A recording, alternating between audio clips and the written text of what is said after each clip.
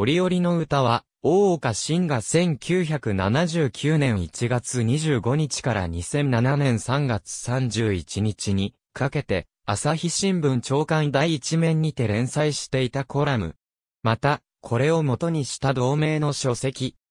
日本語の短歌、俳句、漢詩、川柳、近現代詩、歌謡の中から毎日一つを取り上げ、それに対する解説を行うというものである。朝日新聞の創刊100周年を記念してスタートした。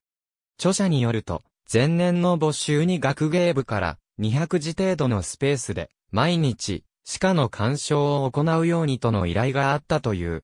これに対して著者は当初難色を示していたものの取り上げる作品を短歌、俳句に限らないという条件で連載を始めた。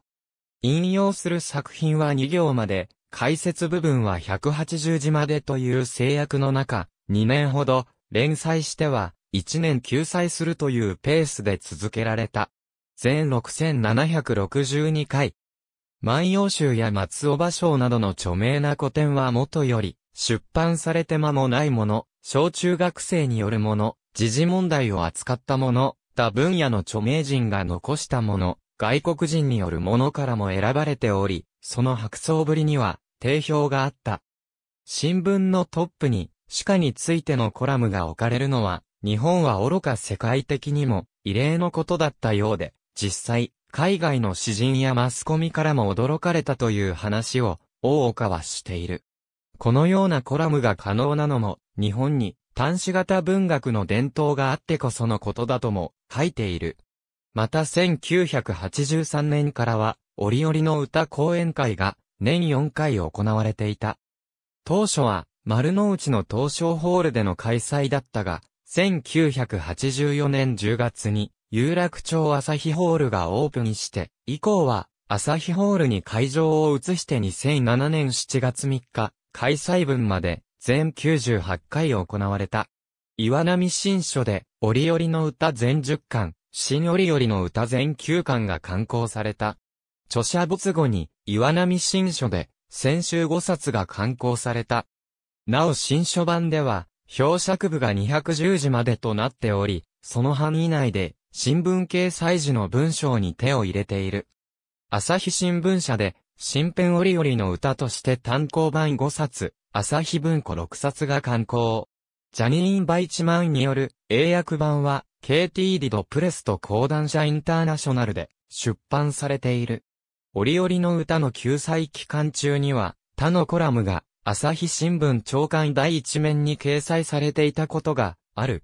2015年4月1日から、鷲田誠一が、朝日新聞長官第一面にてコラム、折々の言葉を連載している。同コラムは、折々の歌の系譜を受け継いだものとされ、コラム名は、折々の歌や、花折々にちなむ。後書き、折々の歌岩波新書、1980年、185から186ページ。大岡新さん、折々の歌最終回6762回、惜しむ声。朝日新聞。http コロンスラッシュスラッシュ www.asahi.com スラッシュカルチャースラッシュニュースカルチャー。TKY2007 億330万355 HTML10 として、現代取得本。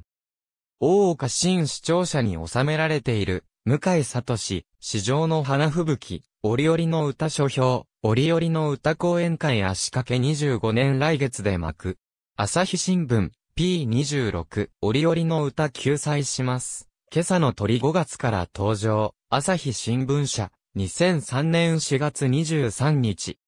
2005.5、31日更新、ASA 大倉山2019年3月18日、閲覧。朝日 CSR のツイート朝刊一面連載、折々の言葉に、反響続々、プタイムズ、2015年4月17日9時30分。ありがとうございます。